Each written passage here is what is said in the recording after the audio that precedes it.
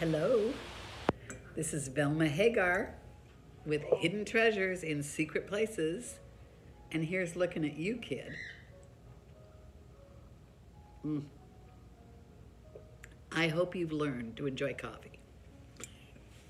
You know, I have to tell you this little story. I didn't, you know, sometimes things come to your mind, and so I'm going to share it with you. My mother and my dad were both avid coffee drinkers. But my, my mother told me that when she married my dad, she did not like coffee. And my dad used to love it. And she said they lived in San Francisco at the time. This was I was born in San Francisco, so this must have been around the time she was pregnant with me. And we never lived there long after that or before that, so it was right around that same time. But she said my dad was working in the shipyards in San Francisco during the war, and um, this woman that lived upstairs from them in an apartment. They lived in a real meager little apartment in San Francisco. And she said to my mother, Honey, let me tell you something. Stop and drink a cup of coffee with your husband. It is a very bonding thing to do. Just do it. And so my mother, in in her efforts to try to tame that wild animal she married. I love that because you know it never did work for her. But but she made a decision to drink coffee with my dad. And that decision, she ended up loving it like I do. I mean, my mother would, her and I would, she lived up here at Ironwood with me the last 12 years of her life because I, I was alone. And after her, uh, my stepfather died, she moved here with me, not in my house, but next door. My brother bought her a condo up here next to me. That was Sammy, yes. And so she used to, I used to go out to the pool and she'd say to me, You want me to bring us a good, happy cup of coffee out to the pool? And I'd go, Yes, mom, bring the coffee. She'd go in and she'd make a cup of coffee like nobody made coffee. Oh my God, my Italian mother. You know, she learned how to doctor it up, and oh my God, it was always so good. And I loved that coffee. So that's how I began to drink coffee, was because my mother and dad both, they savored it. So I started drinking it at a very young age. I am probably addicted. I don't deny it. I I would is I you know what? Sometimes in the morning, I'm telling you, the joy for me of getting out of bed is getting a cup of coffee in the morning.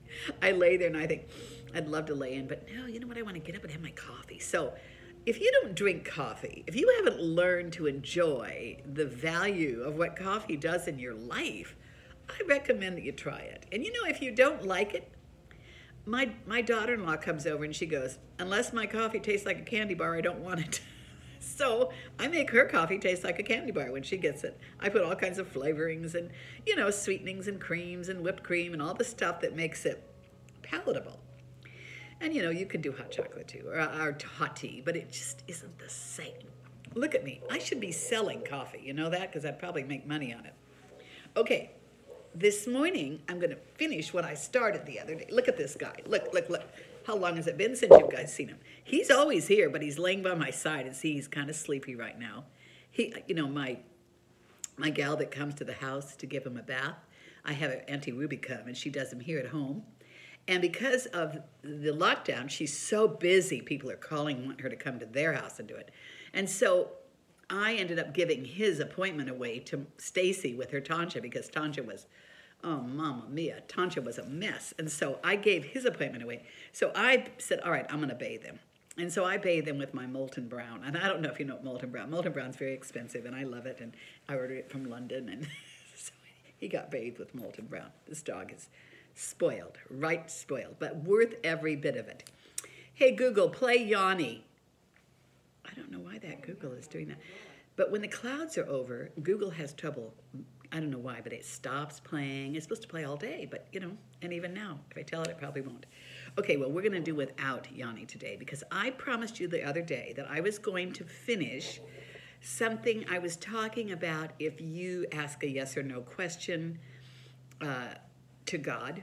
He'll answer you very easily, and I and I, I mentioned that that is a very kind of a an immature way to do it for people that don't hear God well or haven't practiced hearing Him well, but it still works. So, and then I told you I was going to tell you another way. Now, I have done this on a video before, but I have so many more followers now, and unless you've gone back and watched them, you haven't heard it. So, I'm going to give it to you again. There are three things that must be present to know that you heard from God.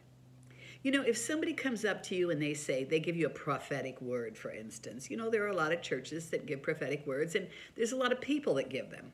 And sometimes we even give them without knowing it. You know, we'll say something to somebody flippantly, and it was God using us to, to tell them something. So, you know, however you receive that word, uh, you know, first of all, the word has to be tested. You know, so in other words, if it comes to naught and they said it, then it wasn't God. If it comes, if it happens, it could be God that was telling them that. Okay, so now here we go.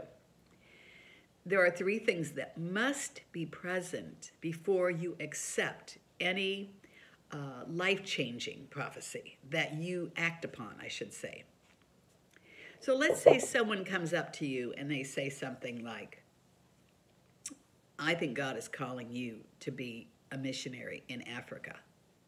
That is a real life changing thing to say to somebody. And before you take them at their word, this is there's three things that must be available. First of all, you have to have a witness in your own spirit. In other words, you have to say something like, you know, that's interesting because I've always wanted to be a missionary in Africa. So there's your witness. Or you might say, whoa, that never even entered my mind. I'm not even interested in that. That's an answer too. That's a negative answer. And the next thing, it has to be something scriptural. It can't just be something like, God wants you to have a Cadillac.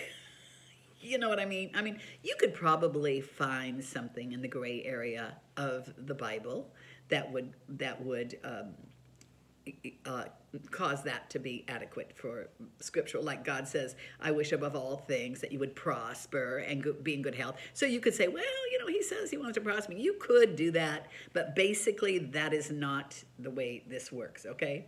So it has to be scriptural. And you say to yourself, well, you know what? Going to Africa as a missionary is very scriptural. God says to go into all the world and preach the gospel. Okay, so now you've got two out of the three things that are needed in order to know that it's God.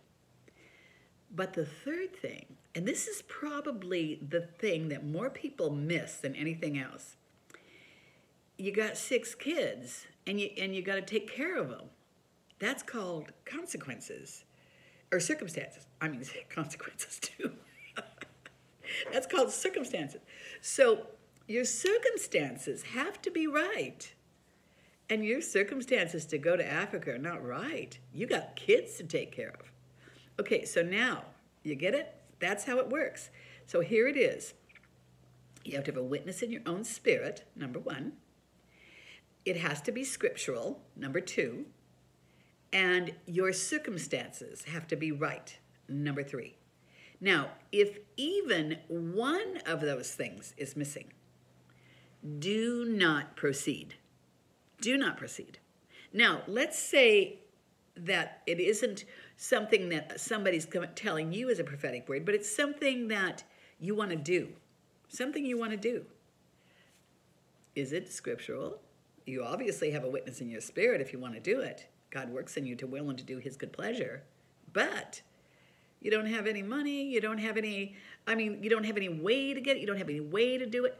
Circumstances. Now, can we jump over circumstances? Oh, yeah, we can jump over them. But you got to get the circumstances right before you do it. They can be done. This one can be done when the circumstances aren't right. You got to work on the circumstances if that's all that's missing. For instance, if you wanted to open a business and it costs half a million dollars to, to open it, and you've always wanted to do it, yeah, God would want you to get your own business, I know that, but you don't have any money so rather than waste time dreaming, get busy and raise the money, or go make your tents or do something else until the time that you do have enough money to do it. Is that clear? Makes sense? And you know, when people say they can't hear God, I go, oh, yeah, you can hear him. And you know, you can use your head to hear him. You know, just with those three things, use your head and figure it out yourself. Did you hear God?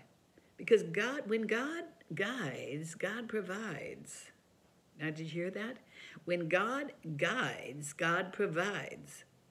If there's no provision for you to do something, then think twice. It could be, and I do want to say this too, your vision could be for another time. You know, some, and there's a time and a season for everything under the sun. So your vision, it may not be that it's that it's null and void. It may be that you've got the vision, but it's not for now because everything isn't lined up. Does, you know, does that make sense? So make sure things are lined up before you proceed. Because things that, now, just because you went into something and it failed doesn't mean you didn't hear God. It means that you had something you needed to learn from that failure. You know, a failure is one of the best learning processes you will ever get. When you, when a person fails at something and they get up and they start again, I'm going to tell you what, you got an expert on your hands. You got someone who knows how to navigate through troubled waters. Does that make sense? I wanted to do a thing on my books. I'm going to do them. I'm going to do a longer one today. So what? You know, I'm always telling you about my book, and I never hardly show it to you. I'm pretty proud of my book. And, and the next time we do a video, I'm going to tell you about these pearls too, because the pearls are very interesting. Now, in my book, there you have one day at a time. You only read this much every day. It's it's in the form of a devotional, and it tells you uh, something encouraging and enlightening that comes out of the Word. It's not churchy. It's very down to earth, and you'll love it. It's also filled with beautiful pictures of the desert. Let me just show you one so we can get a night. I should do April's, but I won't bother looking because I know I'm running long. But you guys, what are you going to be doing? You don't have anything else to do but watch. I mean, what are you going to do today? You're locked in your house, right? Okay, here, here's one of the pictures. And of course, that's a up-close shot of a cactus. But there's beautiful pictures of the desert throughout. At the beginning of each new month, you will find a beautiful picture. It's it, the book looks beautiful sitting on your coffee table. It's it's real high quality. The paper is like sand. It's like it looks like sand inside. Oh, there's an oh there's another picture of another cactus with a bloom on it. I, I went walking today. You know that every cactus blooms. I do love cactus. Okay, so that's my book. The hard copy is $29. The soft copy is $20. The only thing missing in the soft copy, of course, is it has a soft outer uh, shell. It also doesn't have any pictures in it. So that's the difference. And then my sister's book, and I want you, if you haven't got this, this is only $20, you guys. It is uh, Blinds, Patches, and Twine. It's a soft cover. It's not real thick, but it is such good reading. These are all pictures of the Hagar family all over the, the well, the front. I thought I had the back too, but inside you will also find a few little, uh, I think there's some pictures, few little pictures of the family. Yeah, there are.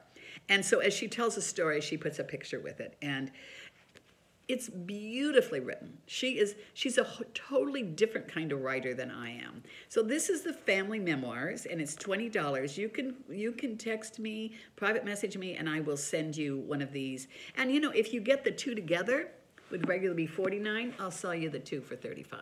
So, you let me know and I will send you I will send you I'm sorry, both uh, soft copies for for uh, for 35 the two the hard copy i can't do that for that because then i really lose money you guys i paid $23 to print these they're beautiful everybody asked me why they're expensive the only four star i got on amazon was a guy from from down under uh, Australia. He had to pay $49 for the book because he was in Australia, and he gave me a four because it was too expensive. I go, oh, mamma mia. He said the book is great, but it was too expensive, so he gives me a four. Otherwise, I'm a pure, straight five star rating, and I have a whole bunch of ratings. So, in my sister's book, you're gonna love it, both of them. So, $35 for two soft copies, and I'll even ship them for that, so I won't charge you shipping. This is $29, and I have to charge you $3 to ship it. It's hard copy, and it's, it's a beauty. Okay, or you can buy these independently for $20 a piece, the two soft, my sister's and mine. So, you know, or one if you just want one of them. So let me know. Okay, you guys, I really went a long time. I really went a long time. Listen for God in the way I taught you how to do it, okay? It really works. Okay, till next time, Velma Hagar. Bidding you a blessed day. Here's looking at you, kid.